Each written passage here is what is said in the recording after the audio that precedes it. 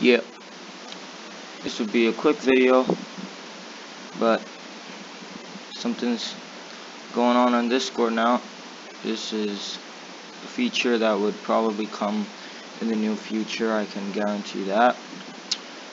You see, there's only online, idle, desktop, or do not disturb, and invisible, right? You all see that, but what about this? Try a custom status. See, I have no status over here.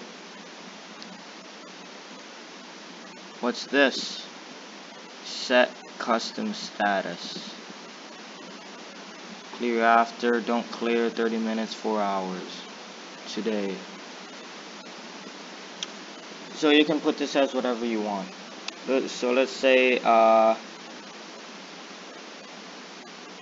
using Discord. Boom. Status is out using Discord. You can edit, you can get it away. Up here, you see Shay using Discord. Using Discord. Using Discord.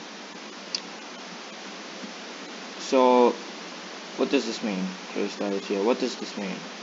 Does this mean that it's gonna come to Discord? Probably, because some people have been saying that it's been going on in their servers lately.